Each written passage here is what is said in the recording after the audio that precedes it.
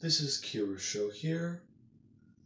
Now, before I do begin, if I do sound annoyed or anything like that during the recording, I had an interesting experience after I got done with work earlier tonight. Apparently, sometime during my shift, someone tried to break into my car. The only reason I know is because whenever I went to unlock my door, someone has stuck a key in there. And it is currently stuck inside my driver's side door, and I cannot get it out. I tried for about an hour, and I need to go back to my work tomorrow to look at surveillance cameras and see if anyone tried to break in.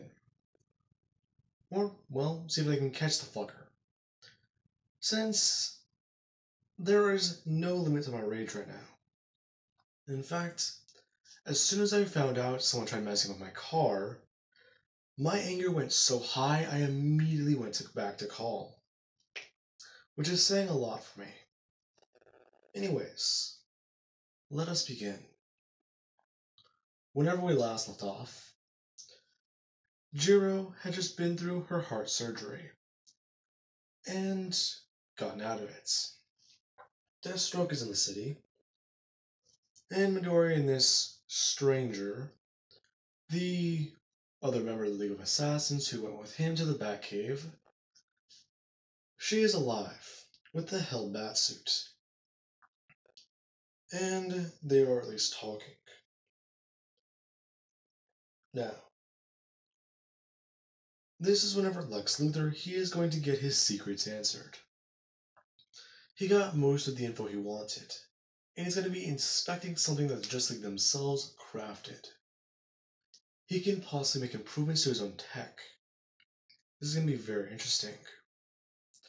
Along with that, he will be making some improvements upon this himself. He was already working on something to try and make himself the next Superman. So, this little beauty here might give him somewhat of a closer insight. Thinking Batman uses super soldier serum or something like that. Something to amp up his physical strength in his body.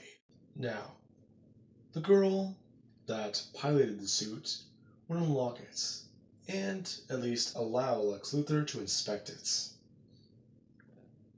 As let's say her name is. I would say something simple. Let's say her name is Sarah, actually, that works. Anyways. Now. She gives Lex Luthor at least surface level access, telling the suit to make sure weapon systems stay offline, and keep him at least on the training wheel protocol. Now, with that, he does at least try and get some information on it. Looking at it on the surface level, being inside the suit is amazing, until he does feel a bit of pain. Asking the girl exactly what is the suit power, and why does he feel like this? Her giving him an explanation. It is made for the likes of heavy hitters. Some are even Supermans. The suit is very dangerous. It uses your own metabolism against you. If you overdo it, you will die. Lex Luthor immediately getting out of the suit and just saying what's good with a superpowered suit if you can't use it. Especially whenever it's made to protect you, but it will also kill you. Hmm. I'm guessing it's just they put that protocol in place for Batman then in case he ever went rogue. Well, that does make sense. Yeah, I do agree. Well, then I believe I can at least remove those restrictions. Along with that, if you really do want some revenge, I have been working on an experiment myself. Really, what is it? Well, is it another Superboy clone? Actually, no, it's not. There were enough Supermen for my liking. So I've thought about it myself. I've wanted to take on the mantle of Superman before. I've wanted to don it, be the real Superman, the human one. Thinking about it, not only would it be disrespectful seen as me invading something of his, I scrapped the idea. I, but I had no, another one. I will not bear his symbol, but I will at least be as strong as him. Him holding up a little pill, saying that this is his latest experiment. These serums and everything he has, they're all very much capable of doing anything. In fact, he's been collecting data on everything he knows. He does have files on the Flash, and some Amazon lineage. But there's one thing that you do need to know. These pills, they're, well, I call them Superman pills. Now, for those of you who are confused, injustice. That's it. For those of you who don't get that, I'm not going to explain it. You guys can go look it up. I'm assuming if you guys have watched it to this point, you know everything I'm talking about. Especially since this is going to be part what? 33? Anyways. Sorry about that. Now, with that being said, this is whenever Midoriya, he just stares at it and reaches his hand out, asking Lex exactly what does he mean Superman. And just like what you think, enhanced speed, enhanced strength. Or, well, it's what I should be going for. Right now, this is version 9. I was working on version 10 whenever you did come in. Right now, you are just as durable as him. Hmm. Interesting. You do also experience some cell regrowth, meaning that you will also have a slight healing factor. Okay. Interesting then. Lex Luthor is saying that if he could test that out, then he will be doing him a very big favor. Sure, I can test it out. But the Flash, you said you had info. Ah, yes, quite right. As he basically just tells his computer to pull up all information on the Flash. It's showing off a file. Barry Allen. True identity. Name. The Flash. Barry Allen was once caused well, caught in the middle of a science experiment. Theoretically, it was possibly from his own doing. And for the way time works, apparently according to the Flash, he can run fast and to go back in time. He has done it on several occasions especially one which he called the Flashpoint, where he met alternate versions of everybody. Then again, he was not too sure as to what this means for them. Does this mean that the previous incarnation of the universe was different? And if so, what was it? Since nothing changed to them. In fact, there is at least one small theory in the back on the very bottom of the page, which he has yet to confirm. Is it possible that the Flash struck himself with a bolt of lightning? Theoretically, it seems possible, since he has seen a Speed Force storm before. It was exactly like the night the Flash got his powers. Now, with that being said, he would also look through everything, sitting down at the computer. Him and Sarah looking through it, as Lex is trying to study the suit more, asking the girl for more access. To which he would just look up, saying an authorization code, and then look back down. The two looking through it. Midori at least pointing out something. One of the Flash's villains. This looks perfect. looking up and telling Lex that Taku was Velocity. Don't know. Apparently some random human. Some chick who gained the Flash's power. How did she do it? Don't know. From what I know, she never had them before. In fact, she wasn't even she wasn't even in Star City whenever the the dark matter generator exploded. Huh. So, who are you? Now, with that being said, eventually, after some more time, Midoriya would have walked downstairs, taking the elevator down to the underground labs. Walking through and looking around, and looking to see Jiro, who's recuperating in a hospital bed. It puts him at a lot of unease. He's not sure why. Why does his whole body feel this way? As the tears do at least begin to stream down his face, he does see a memory. Himself basically shuffling down the hall. And at least barging into a hospital room. Looking to see two people and then Jiro just sitting there. With bandages covering her ears as he does at least hear the words he says. He's so sorry he couldn't protect her. You lost your quirk because of me.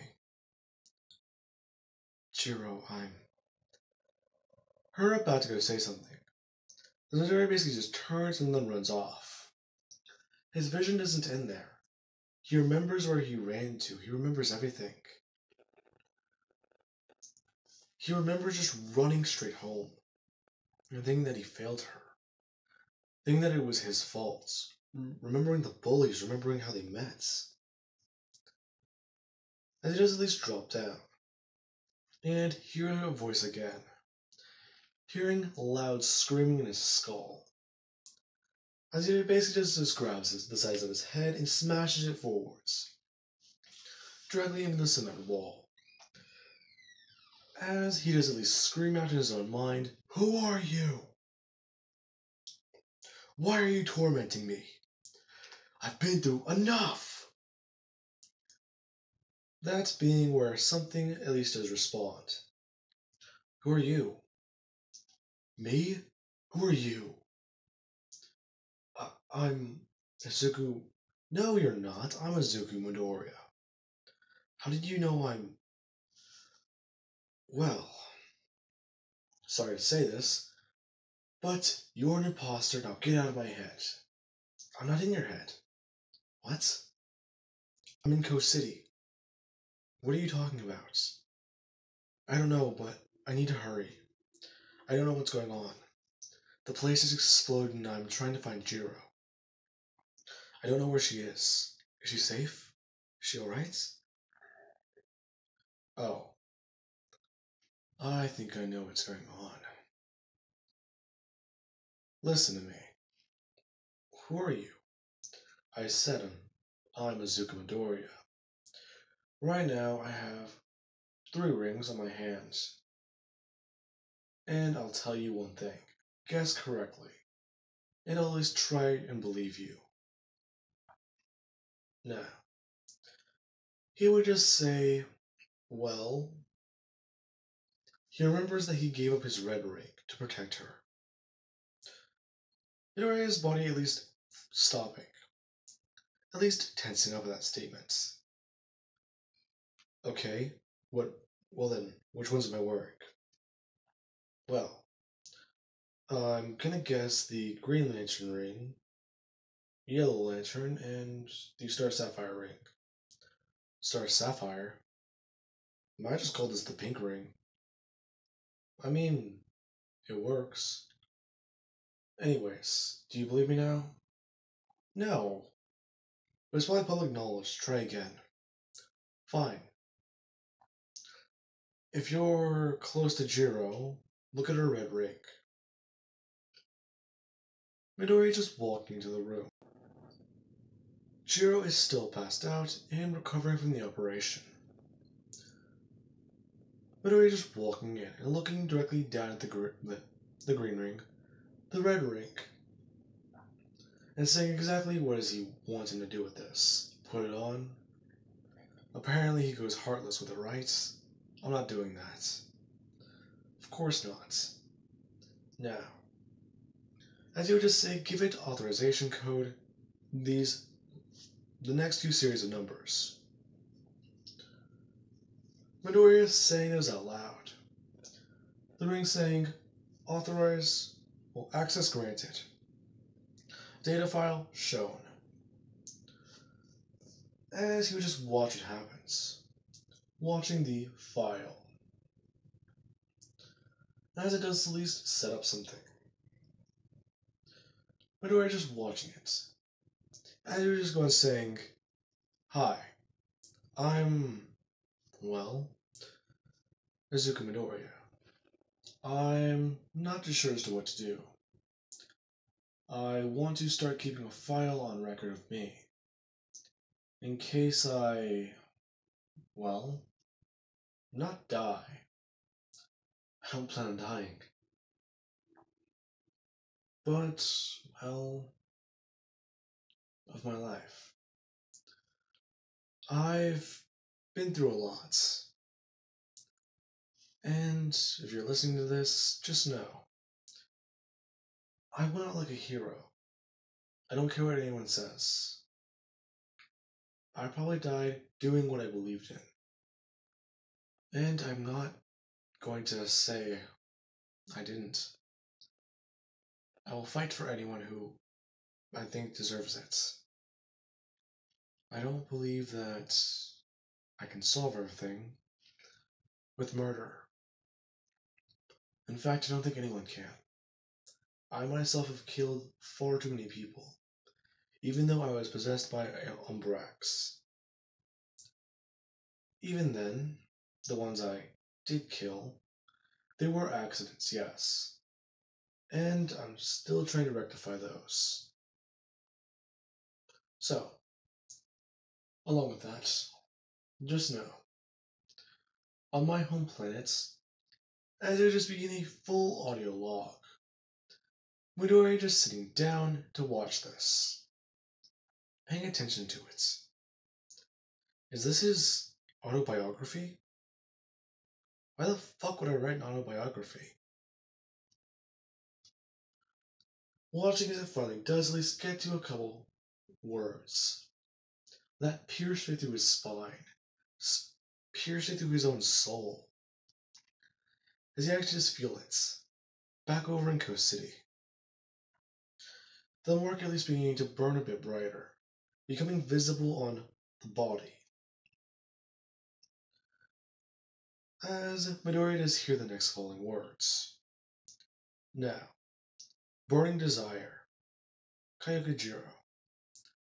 That girl, she's the most important person to me. In fact, well, you probably don't care about this, but. Well, uh. Sorry, I'm nervous, but. I plan on marrying that girl after we graduate. In fact, I kind of already had a ring picked out. I've stashed it somewhere, and only I know the location. So, it's going to be interesting because I plan on doing it directly after the ceremony. So, I'm going to have fun with that. And that is a promise I will keep. Not to myself, but to her. We've always protected each other. We've always been there for each other. The universe wants me and her together. And I will stop at nothing to make sure that that happens. Not even death could keep us apart. The audio file is ending. Now, Midori is just sitting there, hearing all that.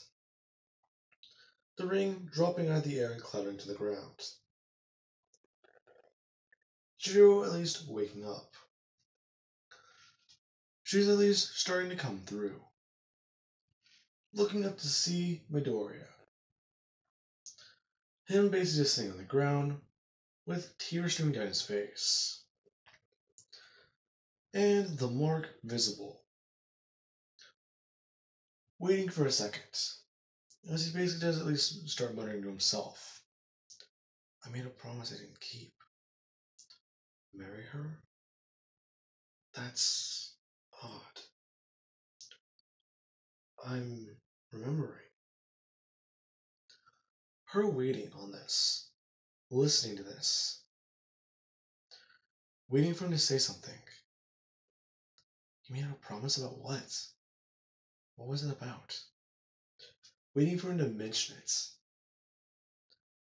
As Midoriya does at least stand up and say out loud, Whoever you are, I trust you, I guess. You said you're in Coast City. Yes, I am. Why? Well, I'm gonna head there. Try and meet up with you.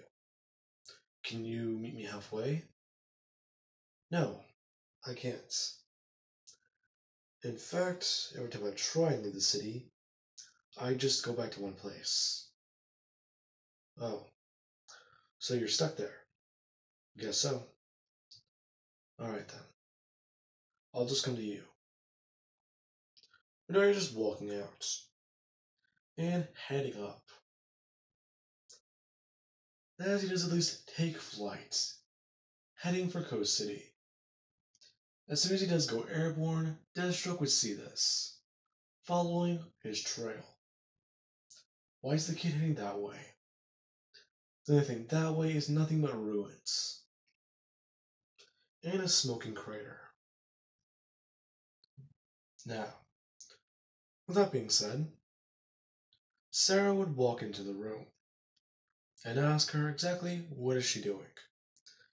She's been awake for a bit of time now. Why don't you try and talk to him? Try and stop him. Well, I don't know.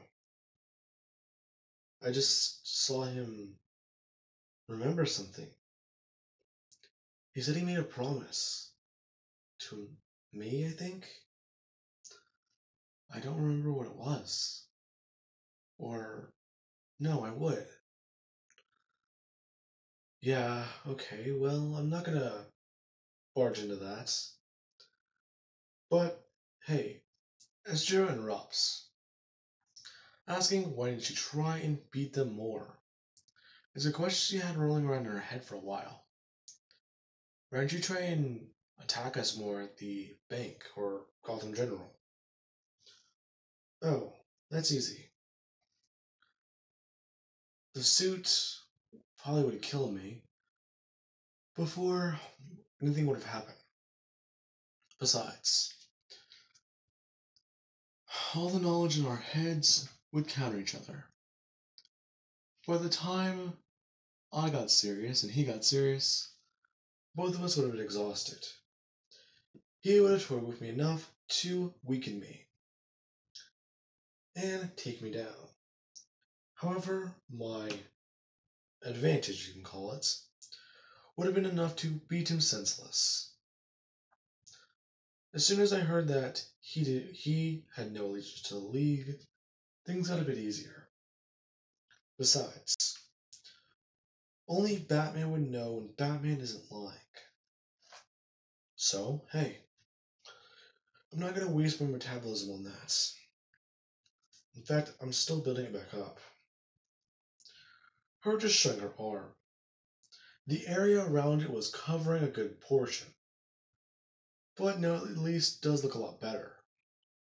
Saying that it's still building, but hey, she's not complaining. Now, with that being said, Jiro would get helped to her feet. And at least walk out. Now, I do believe that that will be a good point to leave that off of. And I do hope you guys enjoyed. Sorry for losing my lip. Sorry for losing my temper for a minute there during recording. I am still very angry. In fact, I don't even feel tired. Anyways, I do hope you guys enjoyed.